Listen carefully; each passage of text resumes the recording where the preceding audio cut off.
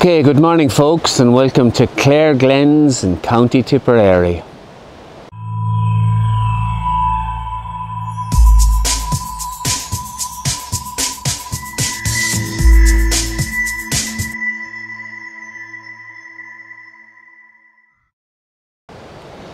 We're here this morning in uh, in an area called the Clare Glens.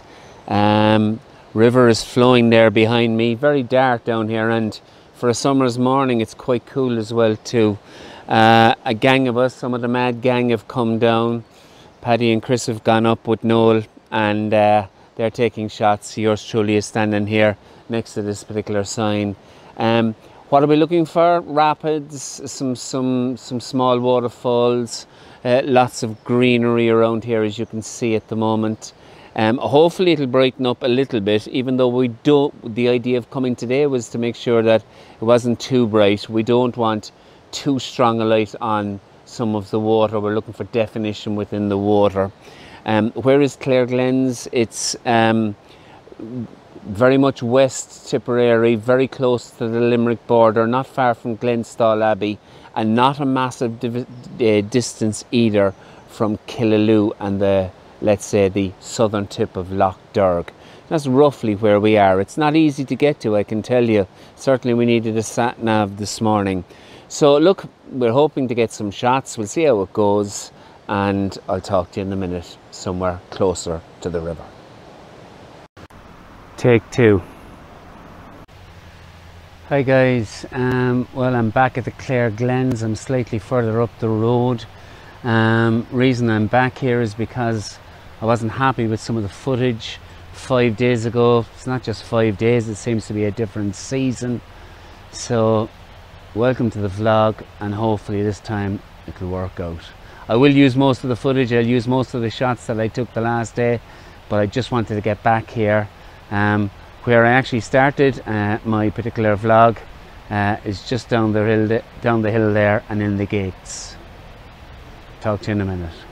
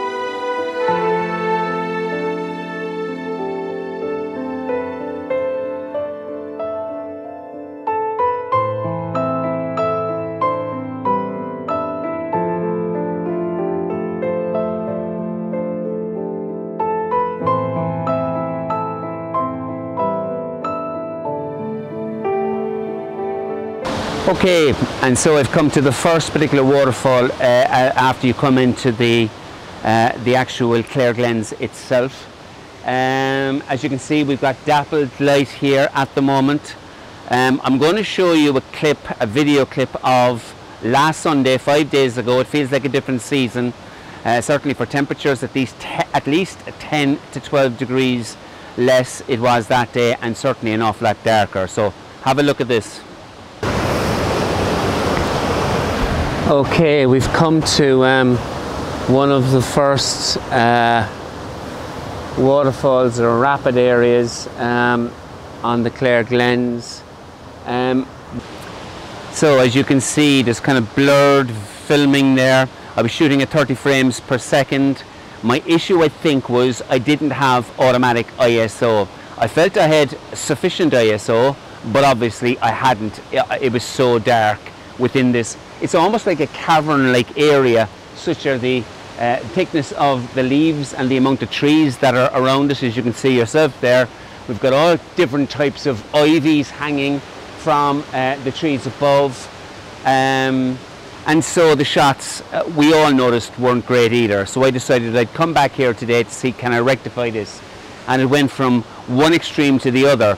Now I have the sun coming in behind you. It's unobstructed predominantly and it's shining right down right on that particular rock straight down up the river and um, I think I'm lucky enough that there is enough leaves to actually protect it from blowing out some of the um, the rapids above. When I was taking the actual shots earlier, that particular white patch, which is just between the end of the rapids and the start of this kind of like pond lake area here in front of the waterfall, was actually within the rapids and I'm sure it was blowing it out.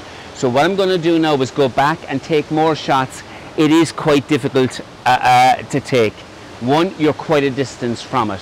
The last day there was an awful lot more water. We tried to cross across there, not a chance. So much water was coming across.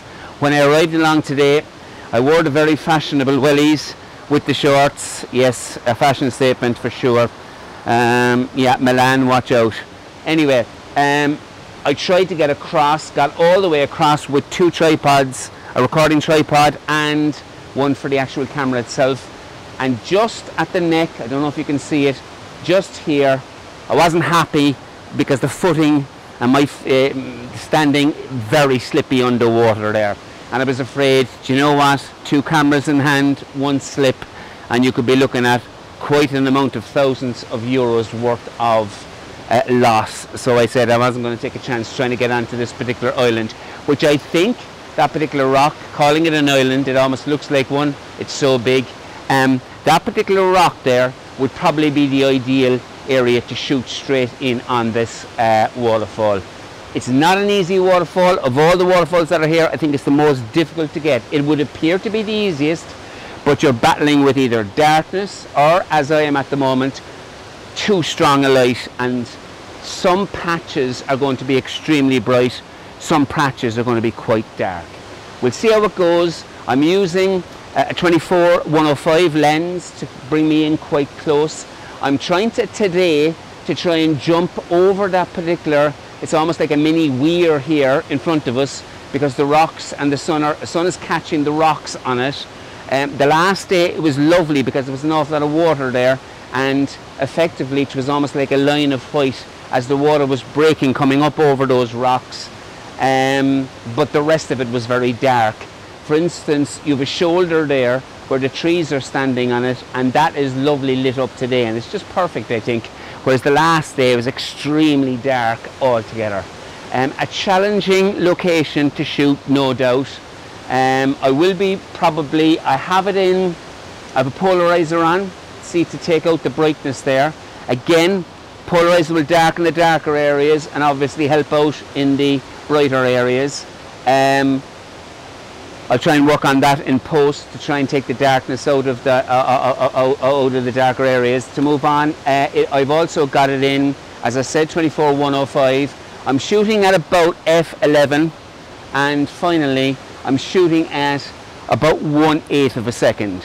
I tried a, a half a second, and I went all the way down and it's got blurred, blurred, less blurred, less blurred, less blurred. Eventually, one eight. I tried one tenth but it just looks too sparse to be honest. So that's how fast the water is traveling up there. I hope I've been of some help uh, and just to remember if you are a vlogger and it is quite dark make sure you put on the auto ISO and leave the camera adjust itself. Thanks a million. Talk to you in a minute.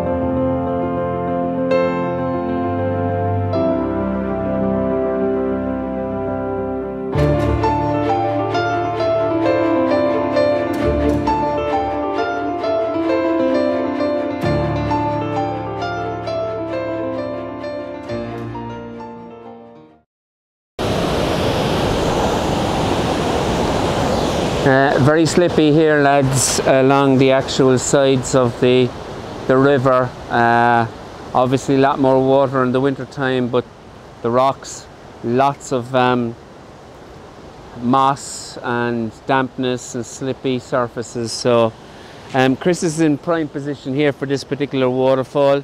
It's been raining for the last few days, so lots of water coming out. We are finding it difficult to get decent shots here today, mainly uh, because it's so dark. Um, we're pumping up the ISO big time. Um, we're also um, we don't need polarizers. We're only just sorry. We don't need ND filters. We're using polarizers. But the one thing I would say is, and I'll show it to you in a while. Chris is shooting down low so that he's kind of his foreground is going to have more of an effect. Um, he's using these rocks which are in a line between him and the actual um, uh, waterfall itself as a lead-in line. They're also got some lovely kind of uh, foam around them, which will also draw the eye into the waterfall. But again, we're probably shooting here at maybe one eighth, one tenth of a second. One eighth, very uh, uh, slowest shutter speed. We could even be going up to one fifteenth of a second. Try and make sure that nothing is blown out and that we're getting some kind of definition in that particular waterfall. Chris, what are you shooting at at the moment? At the moment, Fergus, I'm on uh, F11, 110. Yeah. ISO is about 40 at the moment. 40. 640. 640, okay. ISO at 640, that's fairly high, and he's shooting at one tenth. So I'm going to step in there when Chris is finished. He's been there for about two hours now. Come on, Chris. Don't fall into the river. Anyway, I'll, I'll get my time. It'll probably be dark by the time I get to take a shot.